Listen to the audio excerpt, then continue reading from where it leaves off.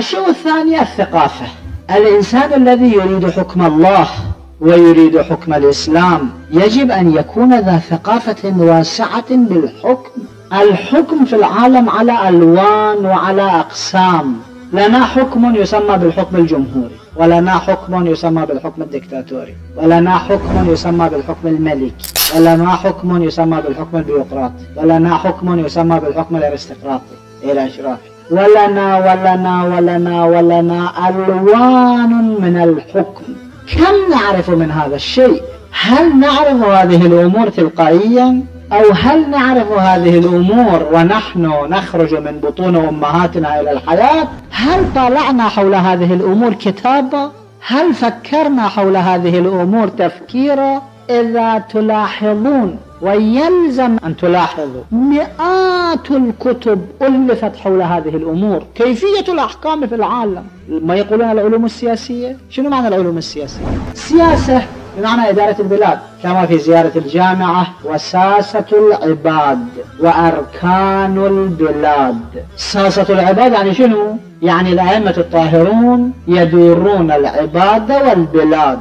كم نحن نعرف ألوانا من الحكم وخصوصيات وكيفيات؟ الحقيقة أنك إذا وضعت يدك على كل عشرة آلاف إنسان من المثقفين ودعنا عن غير المثقفين لعل خمسة فيهم لا يعرف لأن هذا الشيء ليس موهبة كموهبة النطق وكموهبة الرؤية العينية وكموهبة السماع وإنما يحتاج إلى الدراسة إلى المطالعة إلى المباحثة إلى الاستنتاج إلى الاستنباط. ولا يكون هذا الشيء أقل تقدير يجب أن تطالع مئة كتاب حول كيفية الحكم. أي حكم؟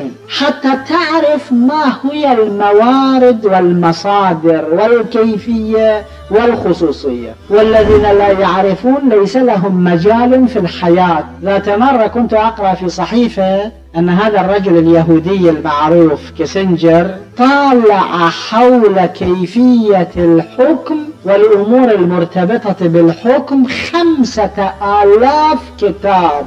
لذا تمكن أن يدير وزارة خارجية أرخم بلد في العالم ثمان سنوات على المسرح وقبل الثمان خارج المسرح وبعد الثمان خارج المسرح أيضا.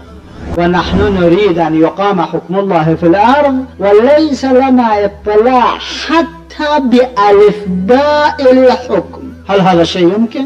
دائما أنت تريد الطب وتعشق الطب وتحب الطب وتدعو أن يجعلك الله طبيبا وموله قلبك للطب لكن لا تعرف شيئا من الطب ولم تقرأ شيئا من الطب. هل تتمكن أن تكون تقابل طبيب مارس الطب خمسين سنة وله ثقافة واسعة حول الطب ثلاثين سنة وعشرين سنة؟ هذا لا يمكن. كل سلاح سلاح في قباله. إننا بحاجة إلى ثقافة حكمية.